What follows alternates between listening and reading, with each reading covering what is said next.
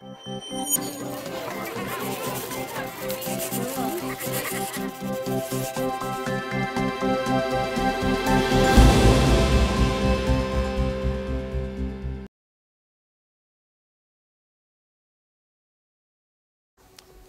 folks. You're uh, not here for me. You're here for the puppets, right? And our special guest. Uh, I'll just say a few words briefly. That uh, heart is something that's uh, not easy to get onto the screen. From uh, speaking as a filmmaker, to try and get what you're intending onto the screen and affect your audience and make them love what you're doing and love your characters, is not an easy thing. But when it happens, it really is magical. And uh, Aardman uh, Studios, established in 1972. Uh, they are a stop motion animation studio as well as a computer generated animation studio. Uh, they, more than arguably any other studio, has succeeded at getting their heart onto the screen, and the, the quality of their work speaks uh, for itself, really, and what's on screen. Uh, somehow they have managed over the years to navigate their way uh, through the sea monsters and the uh, shallow waters to uh, pull off um, nearly countless when you check the IMDb page. Uh, short films, commercial films, uh, feature length uh, films. It's astonishing, really. And um, they do it, as I said, with heart. And so, speaking of heart, we have with us today very much the heart of Aardman Studios, uh, Peter Lord.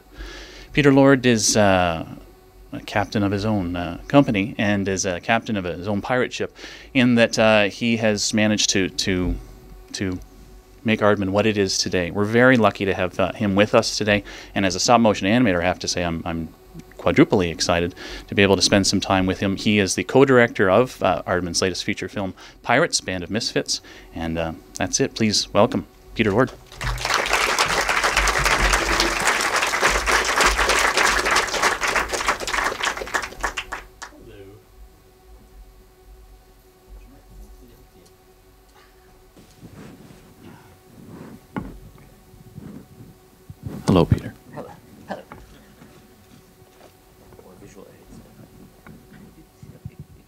Get one thing out of the way, Peter, first. I've been following you on Twitter.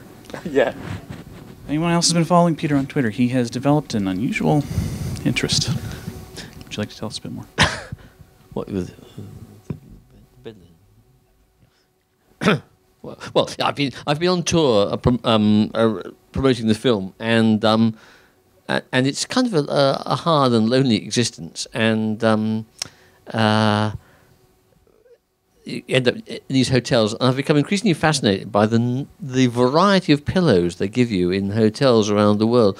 Quite inordinate mountains of pillows. I mean, it, it's very hard for one man to cope with seven pillows at any one time, and I'm just astonished by them. And then that was the first thing that interested me, and then and then then uh, and then having time on my hands, and I started to become equally focused on the uh, the chocolate that was left for you at, at night.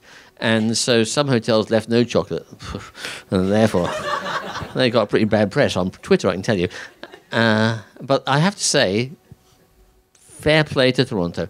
Not only were there chocolates, but also there was a rather magnificent um, version of what's it, the CN Tower is it called?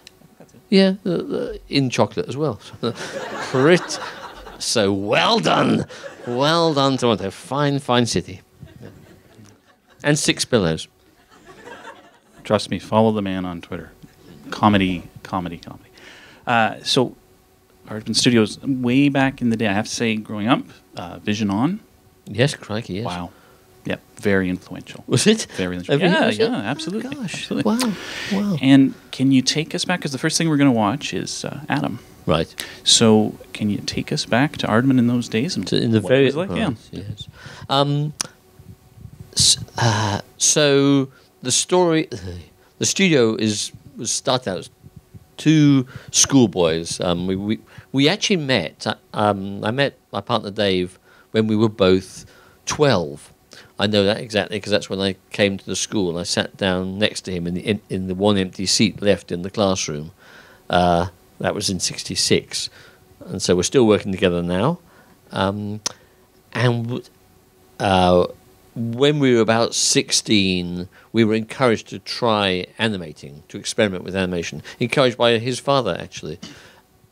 Before then, I just had a normal, healthy uh, adolescent interest in animation, like who, like who doesn't? You know, I liked it, but, but I never thought it was uh, I never dreamt it was a career. It was just it was a thing that other people did, and uh, I was a fan variously of you know Hanna Barbera cartoons, of um, Disney films, of Ray Harryhausen's monster movies, and and just breaking just at that very t- key time in our lives, um, the animation that Terry Gilliam did for the Monty Python TV series. So all those things were influences, and we we started animating one day.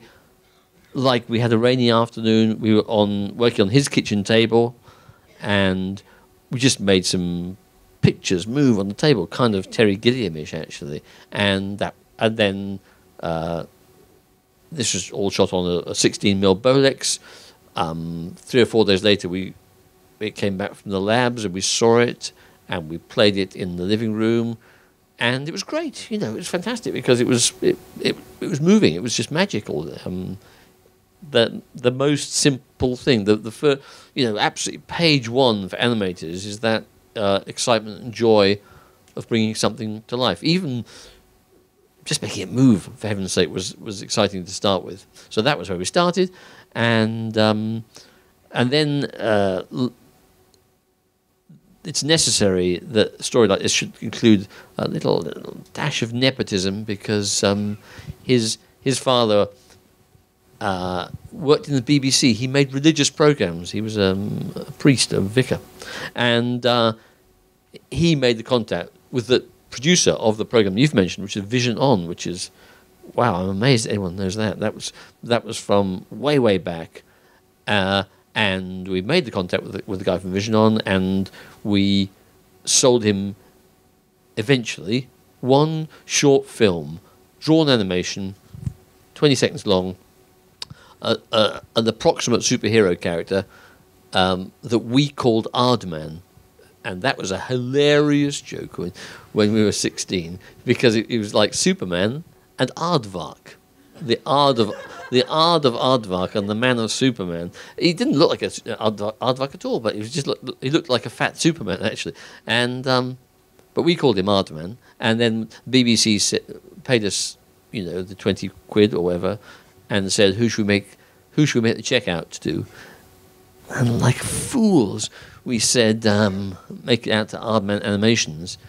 If we'd said, "Make it out to Lord Sproxton animations, we'd be famous now. But as it is, we didn't do that, and so we, ch- we chose Aardman as the name, and uh, and that was and that was it. Um, and that, that, so we got started, and I now see.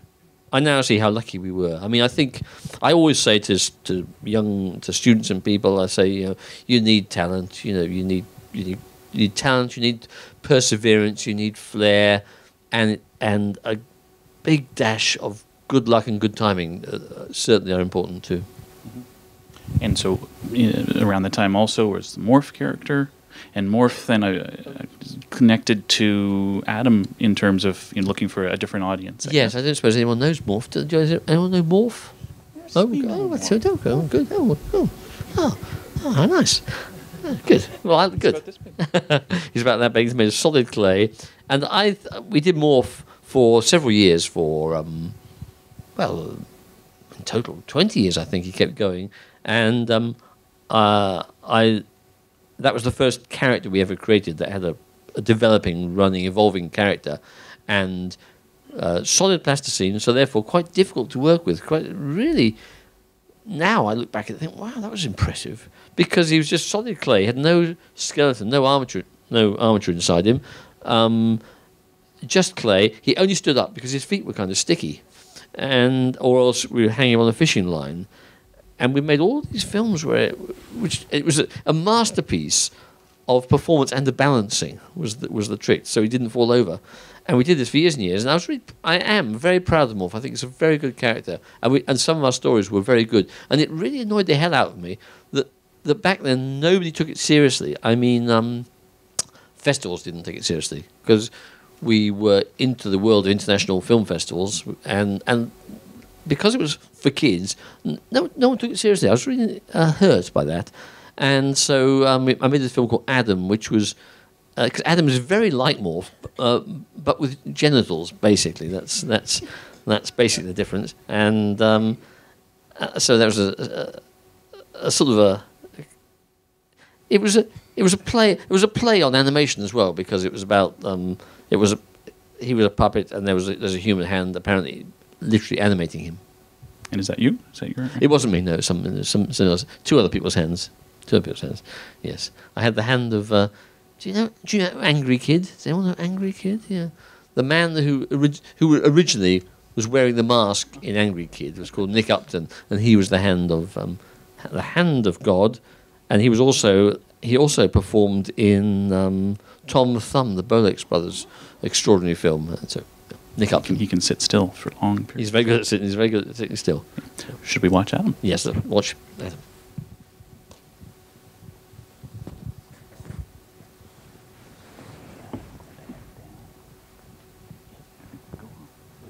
And we're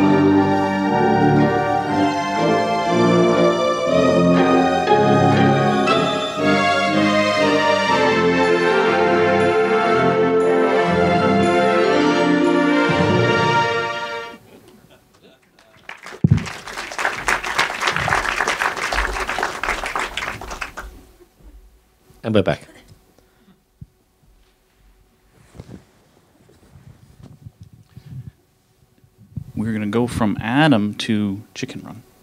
What uh tell us. Cuz Adam's beautiful. Yes. Chicken Run major motion picture, major major studio involvement, American studio involvement, big league stuff. Yeah. So we made Adam, uh, Adam in 1990, perhaps. I don't know how. a, long, a, a while, and there was a small studio then. We were about um, uh, 10, 12 people, sort of thing, um, which uh, is a great. It's a lovely time. I, I recommend it highly to you all. I mean, I mean, it's very wonderful to have a huge studio with 200 people or more, but um, but 10 people is great, you know, because everyone knows everyone else. It's very intimate and they're all really focused. Um, and after we'd done Adam,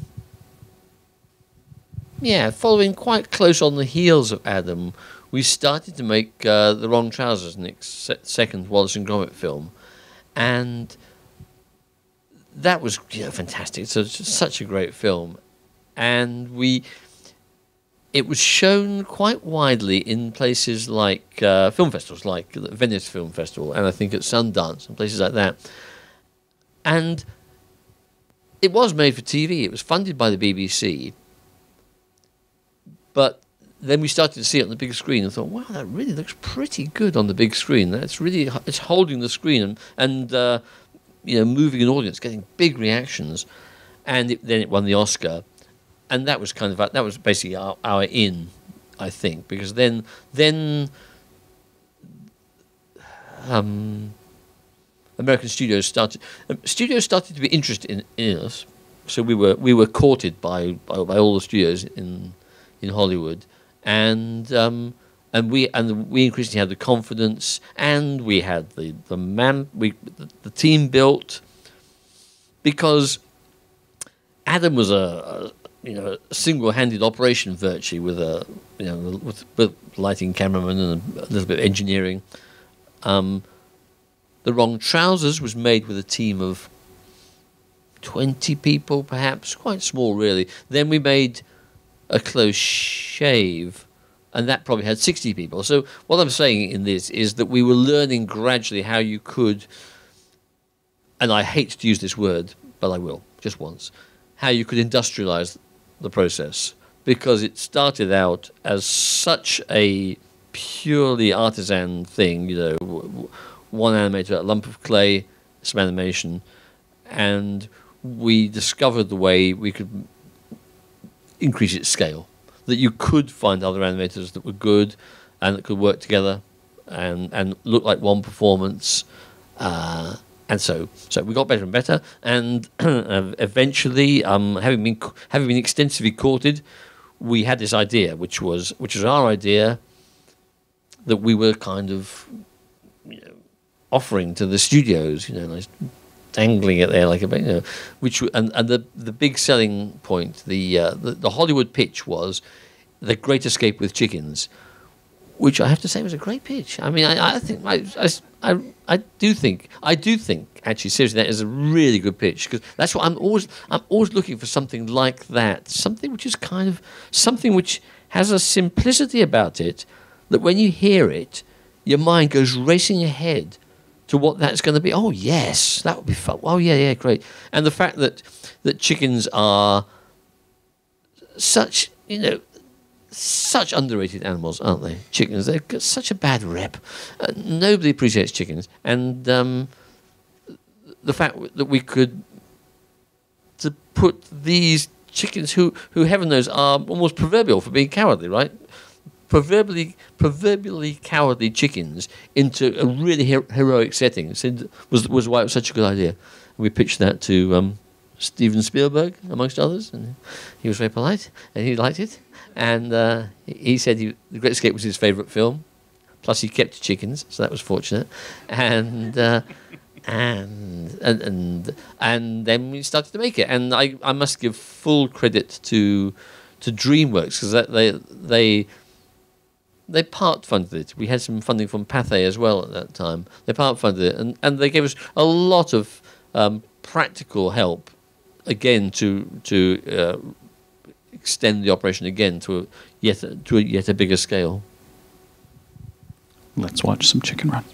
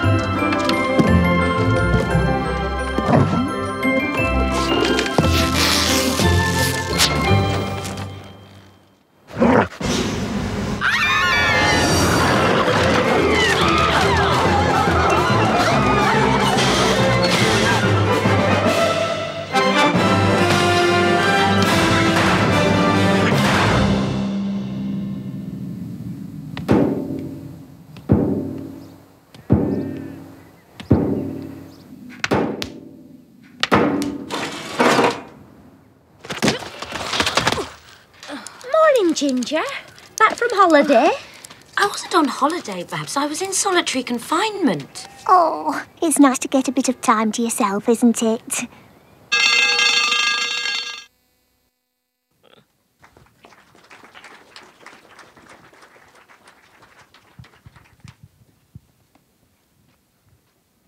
The funny thing is, seeing it now, what strikes me is that, in fact, almost all the references to The Great Escape were jammed into that title sequence. In fact, yeah, because when we thought we were, when we thought of the idea, yeah, in The Great Escape, they uh, they spend about know, an hour and a quarter escaping, and then the rest of the time being caught and killed. And um, I thought our film would be all about that. Would be all about digging tunnels. I thought, know, I thought they spent a lot of time underground, but squeezed all into the title sequence. And, yeah. It's very crafty of you. Great way to establish character too and premise right off the top in that. yeah, very, very straight in there. Right? Yeah, yeah. So let's talk a bit about Nick Park, Yes. whom from a recent Simpsons episode, I understand that he's now more clay than man. Is that true? That's true. Yeah, yeah. yeah. Um, Nick, um, so I've mentioned that I started the company with um, Dave Sproxton we were at school together, and sometime in the early '80s, we were invited to the National Film School um, to lecture, uh, and um, and whilst there, we met a student that was Nick Park, um, and there was we were naturally drawn together because we like we were the only three people in the world we knew that were, that were doing what this thing, this clay animation thing. Uh, Nick had seen our work. He'd seen Morph and he'd seen um, a film called Down and Out that we made. So he knew our work, which, which I think is probably what got him started in the first place, because he's like um, five or six years younger. And um, then we saw what he was doing, and fun enough, what I remember, he was he was making a Grand Day Out, and he only just started when we met him, um, and there wasn't much to see. In fact, what there was the only scene I, I remember was Wallace um, trying to draw the rocket. Actually, he was trying to draw. He was sitting at a, at a drawing desk trying to draw the rocket, very with a big clumsy pencil, and um, uh, and and then sort of fingering his chin thoughtfully, and and that gesture, which God knows is not exactly subtle, you know, if you to, to show your thinking. It's not it's not subtle, but it was it was the right kind of thing that that.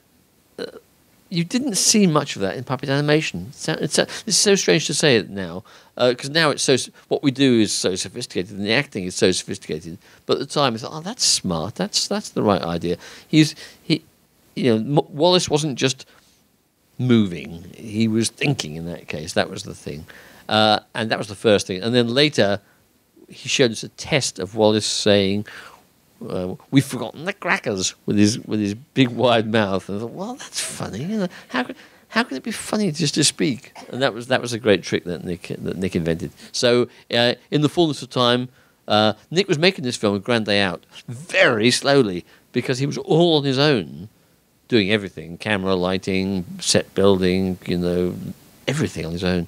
And um, you know, he it took him. I think he was on. I think he was on it for like six years. That film. It's twenty minutes long. You know. Um, so uh, and of that twenty minutes, the last uh, eight or he, he did an Aardman because it, it looked like he was going to just spend the rest of his life making this film. So we said, "Why come and work with us?" We said, "Come come to Aardman, and you can help us do some." Morph and, and, and commercials and stuff like that and finish your film. So that's what happened. And uh, so he became part of the team. Uh, first of all, he became part of the team. There was a brief period when he would make the tea uh, and sweep the floor. But then uh, after that, um, we started making tea for him. And co-director credits. Right, right. Yeah. So there's Wallace and Gromit on the small screen and for film festivals, and then in time though you're in the feature film world now, and so Wallace and Gromit making it to the big screen, which is the next thing we're going to look at. It's Curse of the Were Rabbit. Yeah, because Nick always wanted to, you know, he loves Wallace and Gromit. He loves them. They're, they're, they're very, very dear to him. He invented them. He loves them, and um, he was very, always wanted to make a feature. Always thought he would make a feature, uh, and and then one day he told me this idea, which was like um, the, the vegetarian horror movie. The idea that that, what that um, that Wallace would become like a like a werewolf, except he was a vegetarian, and that Wallace would be hunting himself. And I thought, wow, that's great. Again, you could see you could see all how that's going to play out. You know, that's what I that's what I look for in a story that.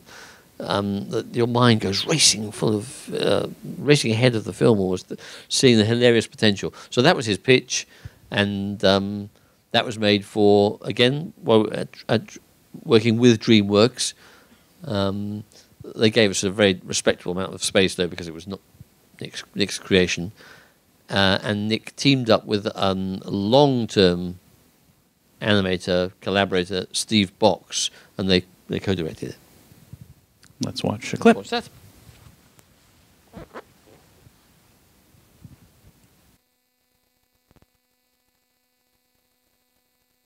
That's enough! That's enough! Luke, this flipping vegetable competition causes nothing but trouble every year. Here we go. If you ask me, you know, I'll tell you.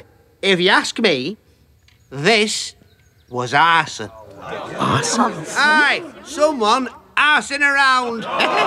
That's right. One of you lot, a man. This was no man. Does a man have teeth the size of axe blades?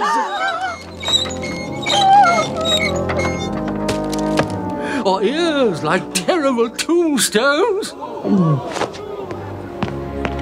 By tampering with nature, forcing vegetables to swell far beyond their natural size, we have brought a terrible judgment upon ourselves. Hey, give over. Eh?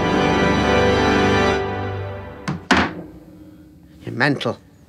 And for our sins, a hideous creature has been sent to punish us all. Repent! Repent! Lest you too taste the wrath of the were rabbit!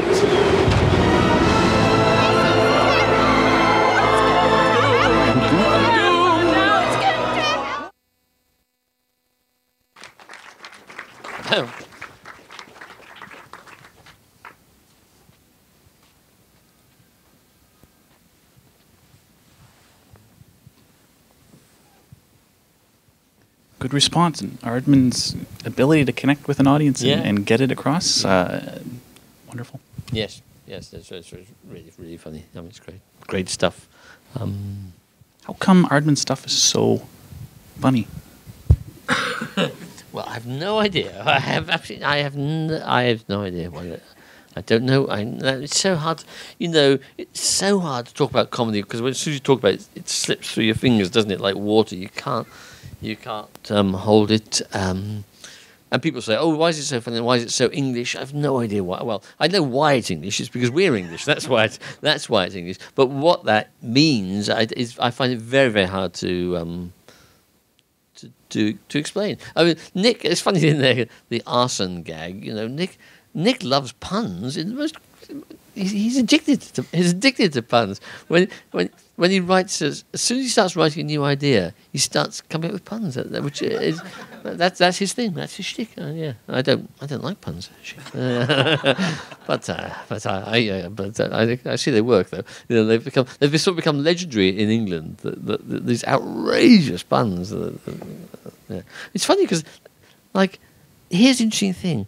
Like in, in like, I can't imagine um, any other performer coming out with this, with puns and people actually like being very happy with it. But he- he's got this kind of this wonderful sort of cheerful, cheerful confidence and innocence about what he does. And, and, and the thing about Nick, as a creative person, is he just has perfect ta- uh, taste, comic taste. You know, like he just. I mean, I've, it's the interesting thing is about a director. People sometimes say, "Oh, what does a director do?" And uh, which is a fair question. And um, uh, and, one thing you do is you is is you just make decisions the whole time. You know, like it's just, and that might be, you know, it might be as banal as that blue or that blue, you know, or it might be as banal, you know, make make his nose bigger, or or or it might be, you know, um, shall we use um, this actor or that actor? You know, big, you know, huge decisions, tiny decisions, but every day decisions, decisions, decisions, and that actually is kind of what ends up on the screen. The choices that you've made, um, because yeah, and um, and and Nick's Nick, of course, comes up with jokes. Of course, he comes up with jokes himself. Then you select jokes offered to you by other people. Um, storyboard artists are, are offering you jokes the whole time, and, and which which one you choose becomes your is your a sign of your taste. And Nick's taste is just fantastic.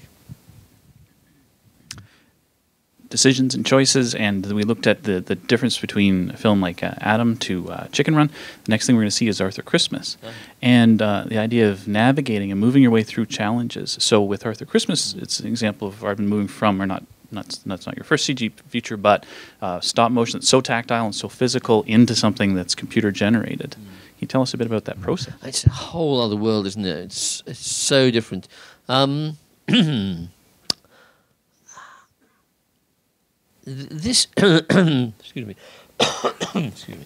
This project uh, was was was offered to us by the, again by the writer by Peter Baynham. He had the idea, and um, Sarah Smith, the director, was working with us at the time.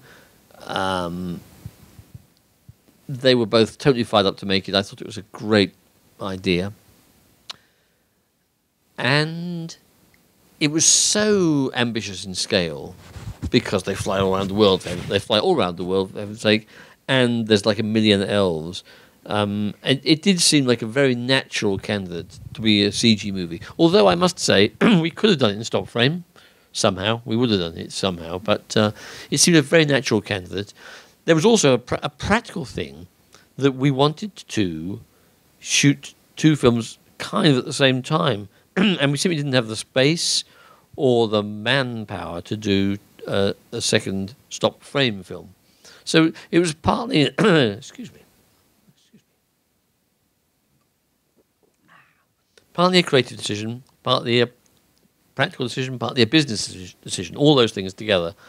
Um, uh, incredible challenge um, to, because we did it quick, and we didn't have, we don't have um, an established CG studio. We do quite a lot at Aardman. We have qu- quite a large team, but not the incredible pipeline that you need for full scale production. So we knew we were going to partner with somebody, and it could have been anybody. We looked all around. We considered partners in London, in Sydney, um, in, in Paris. We, we ended up in LA with um, Sony's ImageWorks team. And uh, so a major partnership. We we deliberately um, raised it like a gardener from a seed in Bristol, nurturing the little fellow uh, in in our hometown, in our studio, almost on principle that, that, that we should everyone should feel that, that we owned it, and all all the first stages, all the story development. Um, much of the storyboarding, the design work was done in Bristol, and then we took it to ImageWorks Studio in Culver City to do it. And it was pretty arduous, I must say, because um, there's, a, there's, there's a lot to learn. Um, new people, you know, new new partnerships, new teams. You know, it, was um, it was difficult. It was difficult, but they, they they did a fantastic job. Yeah. And uh, and what was and what was the same? What was the same? Well, um, the British sensibility again. The British sensibility in the writing. Uh, some of the design work was Aardman grown, as it were. The storyboarding, some of the key animators. We we took um, a, a few key animators from Bristol, some of whom were only uh, CG animators, and some of whom, like a guy called Seamus Malone, for example, who was a stop frame animator who'd who'd crossed over, you know, gone gone bad, uh, and, um, and and so he went and worked and worked on it as well. Let's watch a clip. Okay.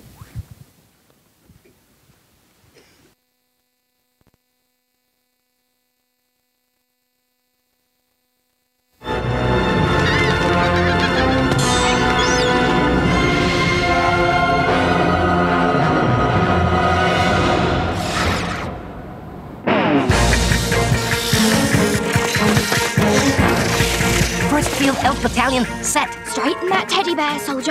Now.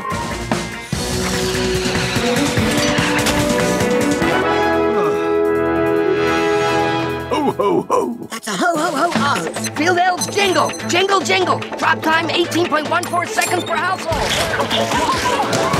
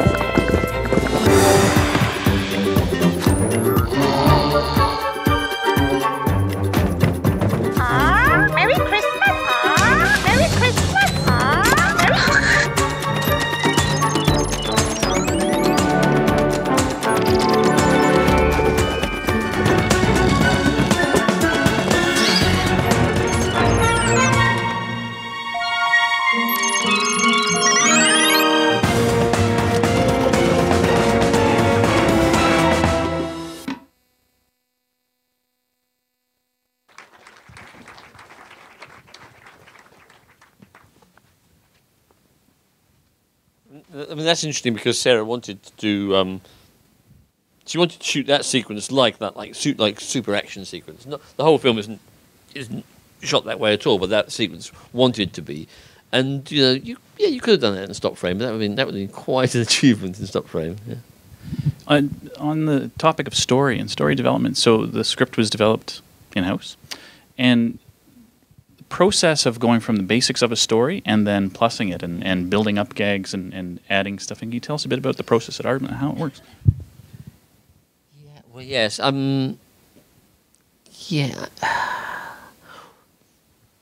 We spent a long time on the story. I'm sure everyone says that. Um, it's amazing how long a story takes for an animated film. It's uh, just to, to get the outline, to get the outline of the events, the right sort of length, the right sort of order. It's amazing how long that takes. Um, and so we spend a long time on that to get that right. And that's, I suppose you would say that was like treatment stage. Um, and then then the script is written, and yes, we do. We, we, we, we work with comedy writers. That's what we do. You know, we. Um, I would say here's here's a thing which maybe is slightly contentious. Maybe I, I don't know what I don't know what someone from Pixar would say. I've never had this conversation with them, but it is true that what we don't that the, the the emotional story, although it's important to us, very important to us, it doesn't dominate storytelling. I kind of believe in, in working out the the narrative and then finding what it's saying, rather than sometimes I think that in in the Hollywood model, someone that you you you find your lead character, you say, what's their problem? You know, what's what what arc will this person go on, and then you plan that out, and then that, that's the story you tell in a sort of rather mechanistic way. I rather believe in trying to tease out what is the emotional problem. Chicken Run is interesting because Chicken Run was uh, written by the, the, final script was written by a guy called Karey Kirkpatrick, an, um, an American writer, very nice guy, working with Nick and me very closely. I would say, very simply put, that Nick and me um, suggested the comedy, and and Karey tried to make it into a emotional narrative, and he could never really find much of a story for Ginger, who is our lead, and it kind of frustrated him because it was it was counter to his Hollywood instincts because she you know, she has a story, um, but she doesn't sort of learn some massive lesson. There was a, there's, there's something in there. There is something in there, enough to make him happy, so he could rest easy at night. She, she, she had an arc. She does have an arc, but a pretty shallow one, you know. And it was quite fun. But I think I think it's a really great film. I don't think I don't I don't believe that films are about. Um, moral education. You know, it's not what they're for. I don't think. I mean, it's it's it's an interesting element, um, and sometimes it's entirely valuable, but that's not what films. Films don't need to be about that. You know, they. I think they can be more about, um, you know, being true about the human condition. I think is a good thing. Anyway, that was one thing, and then plussing it. Um, storyboard is the is the classic place where it gets plussed, and that was interesting as well because because on Chicken Run we didn't we barely knew what a story department was um, because Nick and I came from a tradition where our tradition was that you wrote a you wrote a story, then you storyboarded it, then you shot it. That was where we came from, and we were greatly astonished to go to DreamWorks and and find that they were saying, okay, now what we need now is a story blitz. What the hell is a story blitz? A story a story blitz is is that twelve story artists try to draw the film as quickly as possible to get on the screen so you can see it playing out in real time, which is. I can see the point in that. I do get I get it now. But the, but the way the 12 story artists all sort of telling each each telling the story in his or her own way. It, it's kind of weird and it's, unfo- it gets very unfocused if you if you're not careful, and goes all over the place. Uh, that's the negative side. The plus side is that the best ones come up with really funny ideas. You know, I mean that just that um, it's just one tiny thing, but you know that um, that gag with the um, with the with the organ in the, the wear out. Yeah, that was that was a story artist's idea. You know, so yeah, it wasn't in the script. uh, a story artist thought of it, suggested it. Oh, that's funny, and it's in. So lots of those those things happen the whole time. On the topic of character arcs and shallow character arcs, Yeah. uh, the pirate. And, Good point. and uh, you, you've got a feature film that's about to come out. Uh, let's just talk about pirates. Okay. Um, so um, Who's right there? Oh, yeah, the, the power of a puppet in the room. Look at that. Yes. So, um, so the pirates' band of misfits is the story about this guy, and um, he's obviously, as his costume suggests, I think he's the, he's the the captain of the pirate ship. His name is the pirate captain. That's the only name he he has, and um, he's got a he's got a, a, a hopeless crew. He's a, he's an astonishingly bad um, sailor, really so, so much so he doesn't know. You know, he says at one stage, it's kind of hard to hear actually in, in the mix. He says, "Fire those long things that go bang," which is kind of symptomatic of the sort of sort of. Um, so he's not a very good sailor, but he's but he, he he's a very good pirate. It's not. There's a, there's a funny. Th- we we take a sort of um like some sort of platonic ideal of what a pirate ought to be, and that's what he aspires to, uh, even though it's completely um, impractical and unrealistic, and even though he's not very good at it. Uh, he, he wants. It's written by an Eng- an, another English author, a young man, young guy, wrote a book which inspired the film. Extremely funny book, really, really funny book, full of surprises and full of life and uh, vigor. He wrote the screenplay as well, and it has a, an extraordinary tone, which I find it very, very hard. Who can talk about tone? It's so hard to describe it, but um, it's very mischievous, uh, very unsolemn. It has a kind of a wide-eyed innocence about it, even though the writer himself isn't innocent at all. He's actually quite he's a knowing, sophisticated writer, but he writes with this feigned innocence, which is really charming, and. Um, and it's quite a modern tone as well. Like even though everyone is dressed, uh, well, uh, in in the, it's a period drama, obviously. It's a period drama, but the tone is quite modern throughout. I mean, um, the pirate's loyal, um, very loyal lieutenant says he's very worried about some idiotic decision he's making because the captain is always making idiotic decisions, and he says, "Captain, do you, do you remember that little talk we had?" And I mean, I'm sure no pirate's ever said that ev- ever. You know, that's not that's not pirate talk, is it? You know. Uh, he says, "Do you remember that little talk we had?" And to which the pirate captain replies, "What, "The one about whether pigs are a type of fruit." And and his lieutenant is surprised. uh, "Mm, No, no. The one about this uh, avoiding harebrained schemes that end as, as facing certain death. Or, that's the way it played. Anyway, but a modern tone. Anyway, a very modern, that's a very astonishing, a very surprising tone. Most unlike um, your regular pirate movie. And they go, they they had they go on an adventure. The captain wants to win the Pirate of the Year award, which is like the bit the Oscars of piracy, and uh, and it's you know, it's, it's one of those foolish vaunting ambitions because he's no good. He really is no good. When you get to the um, he gets to the tavern and he meets the opposition, and there's um, Black Bellamy, whose wanted poster says you know, wanted for, for a terrible piratical crime is hundred thousand doubloons or something, and uh, Cutlass Liz is fifty thousand doubloons, and Peg Leg Hastings is twenty five thousand doubloons, and the captain's wanted poster says uh, twelve doubloons and a free pen. Uh, so anyway, so so he wants he wants his thing, even though he's he's got n- no no credentials to get it, and and now we come to story. Now we come to story because he wants something which is kind of it's vain and it's kind of bad for him, and we, we sense it's bad for him. And uh, and in in reaching out for the big prize, he nearly loses the really important thing, which is his his crew. And it is a, I saw an industry screening last week. It's deeply funny in the way where there's several scenes onward, and then you get the joke from a few scenes back, and it hits you, and uh, it's funny. It's a very funny movie. Let's watch a clip. Oh yeah, okay.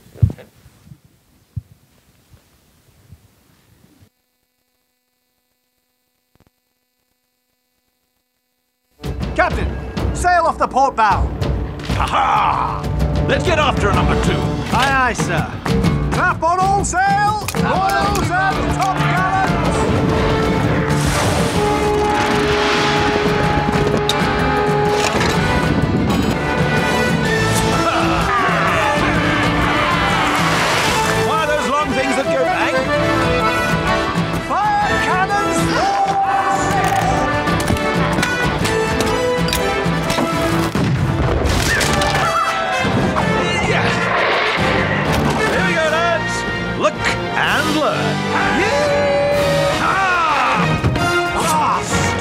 Pirate captain.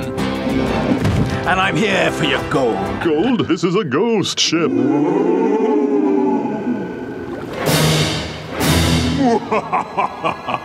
Sorry.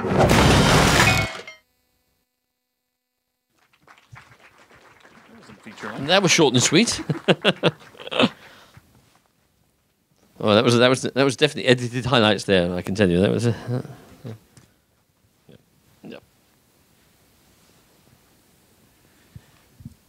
How would you like some questions? Oh, yeah. Because I'm done. We, there's so many Okay. people that would love to. yes, let's do Your that. brain. Let's, let's do that thing. Let's do some questions. Let's have the lighter. I have Yeah. a mic. I have a mic for you. Um, sorry, what a difference in the change of uh, of characters from the elf uh, uh, movie, uh, the Christmas one, uh, which I have I haven't seen it. Uh, so that's my first time on seeing the characters Yes. and knowing that it came from Aardman. Yeah. So how do you deal in changing the characters so drastically? Because Aardman is always these kind of characters, big ears, big mouth. you know, that's what makes those characters so funny as well.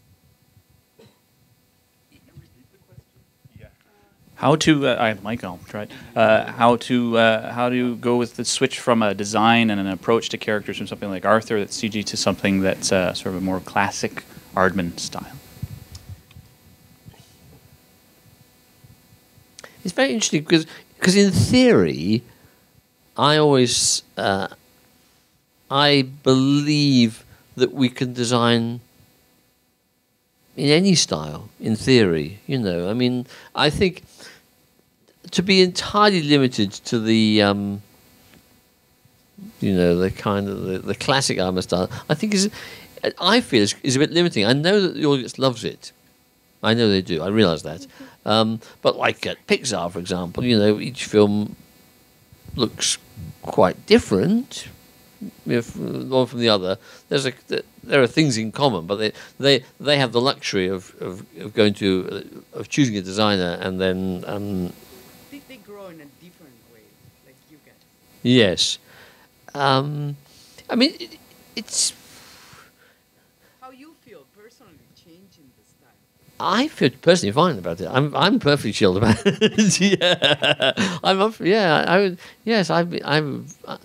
I know that the, the the th- classic style with the eyes and the big wide mouth is, is much is much loved. It's. I mean, with the pirates, you know, the, the style is different.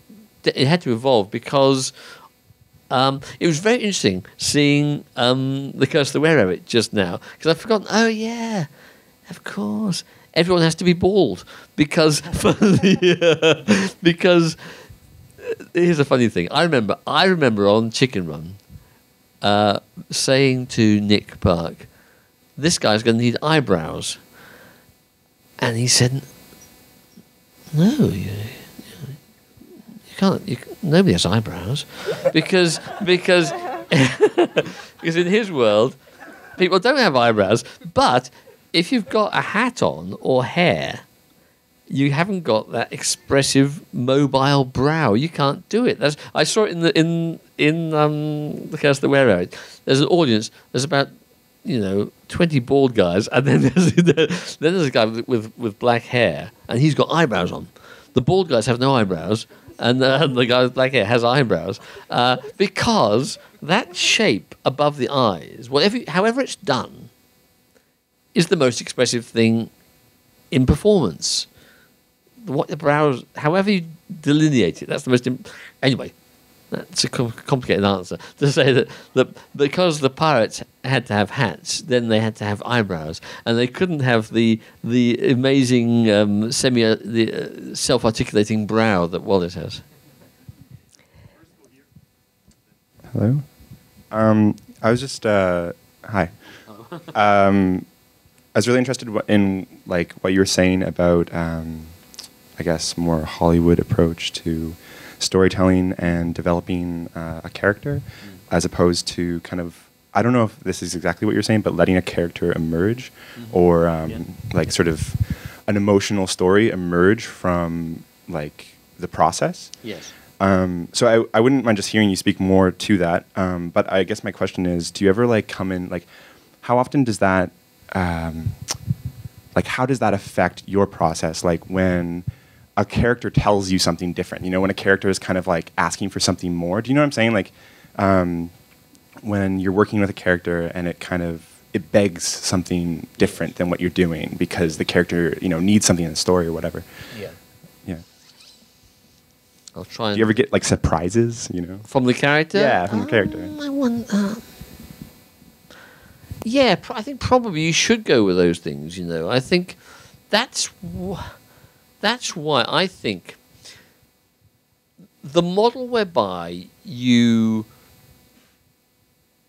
plan a plot, a series of events, and then very early on you start hunting around what what is the what is the emotional story arc in in this series of events. And then you kind of land on it and then oh that's good. Now we've, now we've got now we've got a proper arc so now we're safe that probably is quite limiting because then you can't sort of um, follow the the hints that the story might throw up to you I mean, Wallace and Gromit is very. I, I mentioned Chicken Run and Ginger's lack of arc. Um, Wallace and Gromit, the same. It was very funny. I laughed. I laughed. I laughed to see the people at DreamWorks trying to make sense of, of the Wallace and Gromit story in Hollywood terms, because it barely holds up. It doesn't hold up. In other words, you know, Wallace never learns anything because he's a complete fool, and Gromit doesn't learn anything really. They kept trying to kid themselves that Gromit was. They kept they kept trying to kid themselves that the story was about um, Gromit um, trying to change his master and then learning to accept him. Maybe that was in there a bit. Uh, there's a little bit of that. There's a bit of that, but that's not what it's about, really. I don't think that's what it's about. You know, what it's about, if it's, a, what it's, is the simplest thing on earth. I think it's about sort of um, uh, uh, friendship and affection. Um, all, in spite of all the odds, you know, in spite of all the unreasonable things that people really do, you know, it's just, it's just ultimately human warmth, or in this case, human stroke canine warmth, you know, triumphs over over other, you know, over adver- adversity. Um, so that was funny. Uh, that, so, you know, if you'd taken the Wallace Gromit story and you and you tried to, you know, put the classic Hollywood structure on, it would be so much less interesting, I think. Um, and it, and also, we, I'm sure we all know. I'm sure we in this room we all know that thing where you start to watch a movie and you think, oh, I, well, I know how this is going to end up yeah, because it's so obvious. They've established that here's the character. Oh dear, look at the problems this character's got. You know, you know, don't worry, it'll all work out well in the end, and you know they will triumph over adversity. That always happens, and, and they've they've learned, they've learned a lesson, and they're, they're better people. You know, and and know, I, I'm not I'm not. Actually, I do sound cynical, don't I? But I'm not. I'm not. I'm not. That, you know, I, I, I'm, i with Arthur Christmas. I was in tears at the end of that film, and I'm the producer, for heaven's sake. And it wasn't not because it was expensive, but because I found it so moving. I found it genuinely. Well, I guess the end, I found it genuinely moving, and that genuineness is all. I'm, is actually all I'm really talking about. That's that. You know, that, at the the bottom line is is genu- is genuineness in in storytelling, and and not, not cynicism in storytelling. Thank you very much. Peter, uh, what an incredible journey you've had over the years. Oh, here I am. and um, I was just, uh, you know, you started out with um, you know, very creatively rewarding ideas and uh, shows and processes, and you know, went through to commercialization and changing technology. I was just curious how you maintain your childlike curiosity and kept your mojo over the years.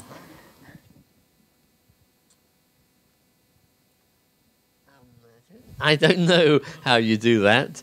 I don't know how you do that. You know, um, the energy of others is what is. I'm, I'm, perhaps I'm like a sort of vampire, really. I think there might, might be a, one, one, one is um, uh, buoyed up by the energy of others, but that's a two way. That's a two way thing, though, because you won't get their energy if you don't invest energy to get it back. Um, like you know,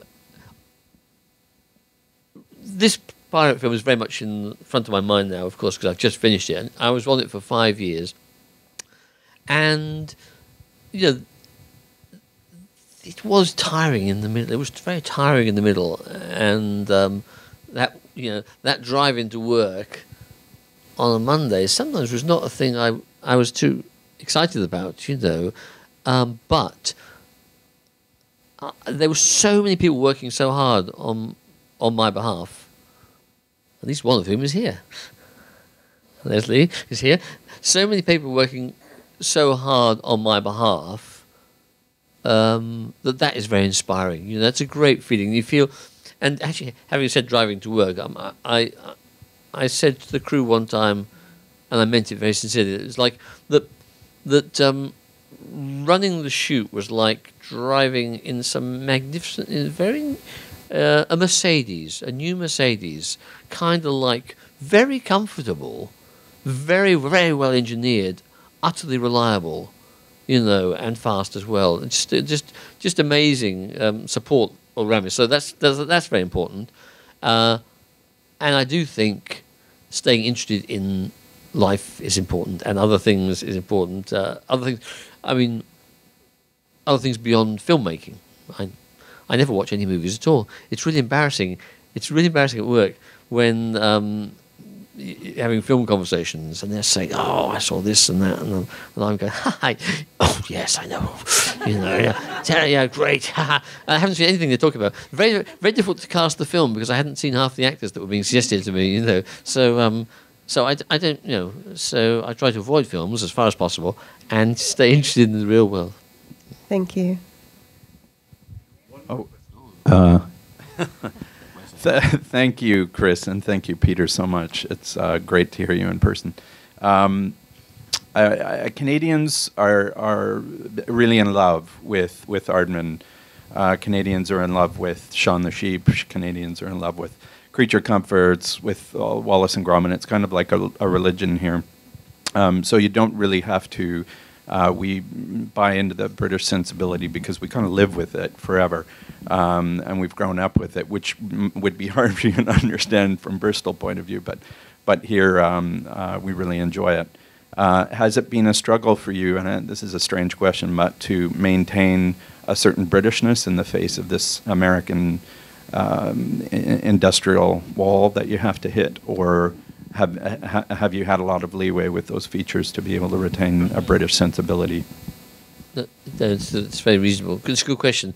Sony have been great, I must say. Um, we, we've made two films with Sony now, Arthur Christmas and the Pirates thing, and they've been fantastically um, supportive and tolerant so far.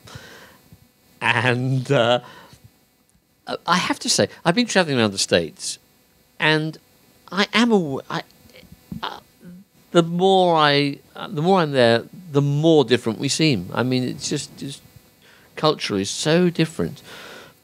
Now, that's fine. That's good. That's how it should be. Uh, no problem at all.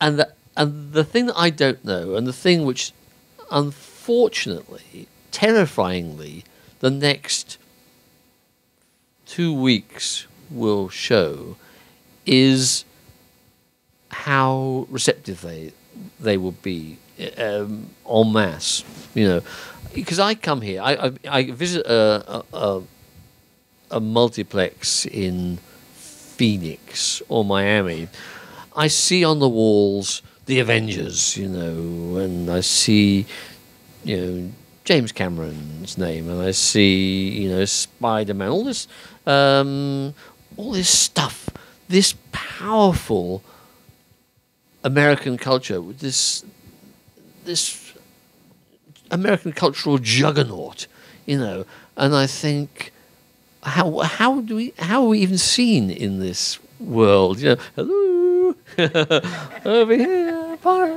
Uh, it's really hard to be seen. I, I, I mean, uh, so I'm afraid.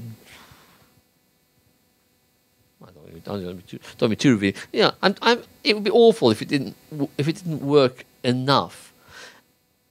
Our sights are quite low. This is what really pisses me off because, like, like Wallace and Gromit won the Oscar for pity's sake, and any intelligent person thinks it's a brilliant film, and yeah, it does sort of 60 million in the US box office. The bloody Smurfs will do 200 million. I mean, you know, for pity's sake, really? well, you know, and, but, but what can you do? And what can you do? I don't know what you, I mean, one thing you could do is we could change what we do. But that doesn't seem, but that doesn't seem, that doesn't seem like but we can't. And we, you know, we can't do that. We could, but but we don't want to do that. So it's so it's you know, so, and so I wish to God we could just have a big success, not because I want the money, although I do want the money, but because um, but because I would just like to say, see, it's possible. It can be British and and popular. You know, that's all. That's what I'd lo- I would love that to happen. Um, yes, I would love that to happen, but, I don't know if it will. Everyone in this room goes to see it 37 times. Yeah, yeah, yeah, yeah that'll help. Yeah. Well, as an animator, I have to say, just on a personal level, thank you so much for what you have personally done for the medium. And uh, there's a lot of students in the room as well. And uh, I know from their perspective, you are such an inspiration and your company and the work that you do and that heart that makes it up on screen. Mm. And uh, and thank you so much for today. And uh, Peter Lord, folks. Thank you. Thank you, Chris.